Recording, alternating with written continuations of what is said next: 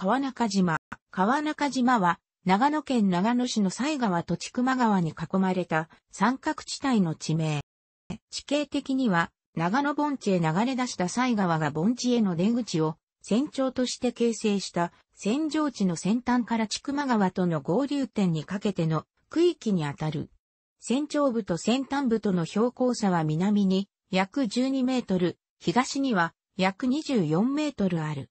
戦場地上はこの船長付近を水源とする、かつては何本もに分かたれた枝川からは、昭和初期まで鮭やマスなどの漁獲量が豊かだった。またそれら枝川だった用水網によって考えされ、肥沃な高地が開かれてきた。千曲川は、この西川による戦場地によって東側の山際へ押し付けられ、避けるように南東の松代方面へ大きく極流する。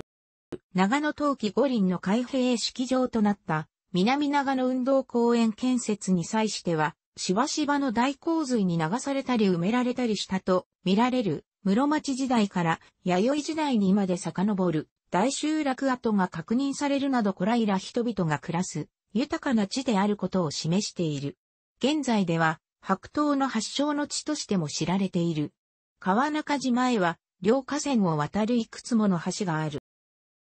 1924年、大正13年7月1日、更科郡、今里村と同郡笹井村が合併して、川中島村が発足した。同村は1956年、昭和31年9月30日に、同郡昭和村、1955年、昭和30年4月1日に、同郡中津村と三栗屋村合併して、発足と合体し、川中島町となった。1966年、昭和41年10月16日に、長野市、篠野井市などと合併して、長野市の一部となる。以上の経緯から、合併以前の旧川中島町の区域を川中島地区などと呼ぶことがあるが、これは本来の川中島の一部、またはその西隣に過ぎない。川中島古戦場として観光地となっている八幡原始石公園、長野市吉間田町は1966年、昭和41年の合併以前は、更科郡港北村、1954年、昭和29年末までは、小島田村に属していた。ただし数字にわたる合戦の戦場となったのは、八万円だけでなく、西川と千曲川の流域一帯である。このため近世においては、北新地方全体を川中島四郡と称し、江戸時代には、福島正則周辺の高山村付近や、岩木市市藩の木島平村付近も川中島藩と言われていた。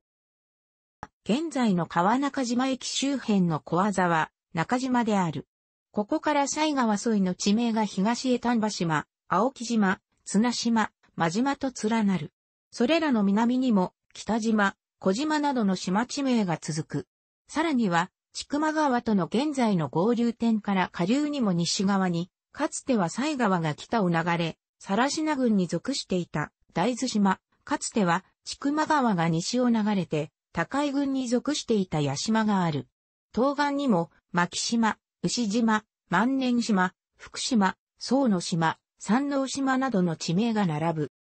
なお、東日本旅客鉄道、JR 東日本新越本線の川中島駅の開業は1917年、大正6年であり、川中島村の発足、1924年、大正13年に先立つ。川中島駅の上り、篠ノ井方面一つ隣の今井駅には、1998年、平成13年の長野オリンピックに使用された、戦士村が駅を出てすぐ広がる。また、今井駅自体もオリンピックを前に1997年に新設された駅である。川中島の故障は、武田信玄によるとされている。室町、戦国時代、この地域は奥四郡と言われていた。当時の信濃の行政的中心地、府中は、千曲郡、神府と元され、当然に、府中からさらに奥の更科郡、羽品郡、高江郡、水内郡を総称してのことだった。千曲川、西川はこれら四軍の境界をなしていたが、乱流していた。ところによっては網状に流れが12にも分流するなど多くの島や中洲、地小が洪水などに河川敷の地形を変容させ、そのため四軍の境界も流動的だった。武田信玄が桂尾城攻略後全校寺平へ進出して12年間に、渡り後旅光越両軍が交戦を繰り返すことになって、これらの地域を転戦し、順次に川の中の島々を領土として奪取していく過程で、川中四軍と故障を変化させていったと推測される。したがって、川中島の概念は、現在言われている地域よりは広く、南は上田から、北は新潟県境あたりまでを含む、両河川沿岸ということになる。しかし、両将一騎打ちの伝説を生んだ第四次の八幡原での激戦が最も有名となって、川中島の戦いの戦場は、次第に千曲川と西川に挟まれた一帯に狭く、限定されて語られるようになった。川中島と周辺の地域は、古来から交通の要衝だった。このため光越合戦ばかりでなく、地域周辺では戦乱と関わることが多かった。木曽義仲の旗揚げによって、市原合戦、長野市若里市村付近が源平戦の前哨戦となった。これに対して、平家法の上司が大軍を率いて、越後から進駐した。だが、横田河原の戦い、長野市篠ノ井横田付近で敗走し、これによって、木曽勢は栗から峠での対象の足がかを得ることとなった。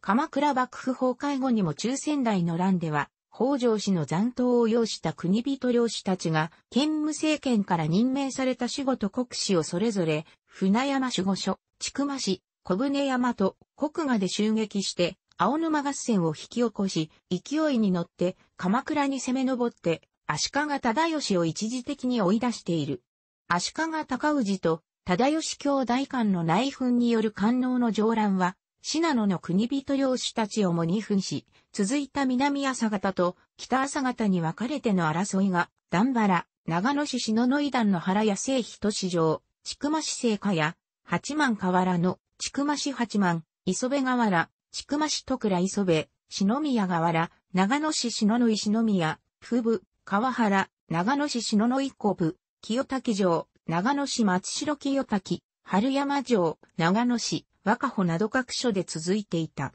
善光寺別当が関東関連に攻められて、栗田城、長野市栗田に迎え撃ってもいる。さらには豪祖の国人領主鎮圧に守護が善光寺で軍勢を整えて、横田城、長野市篠の横田へ押し出した大東合戦は数に勝る大文字一騎勢に分断されて、王党の古城、長野市篠の井台あたりに逃げ込んだ味方を見殺しにして、京都に逃げ帰った。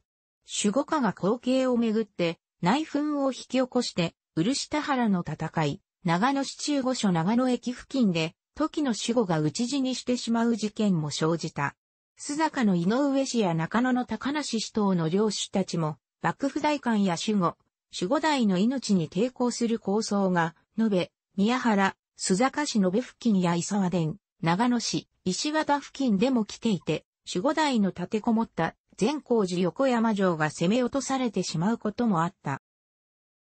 5回も繰り返されたと伝えられる光越合戦の結果、当地は武田氏の支配下になったが、武田氏は織田軍に滅ぼされ、その織田下さんが月足らずで本能寺の変で倒れ、武士となった川中島には、作方面から北条氏が侵攻し、これに対抗して、上杉氏が南下して婦人氏徳川氏も、触手を伸ばして北上するなどして、天正神後の乱の混乱に見舞われた。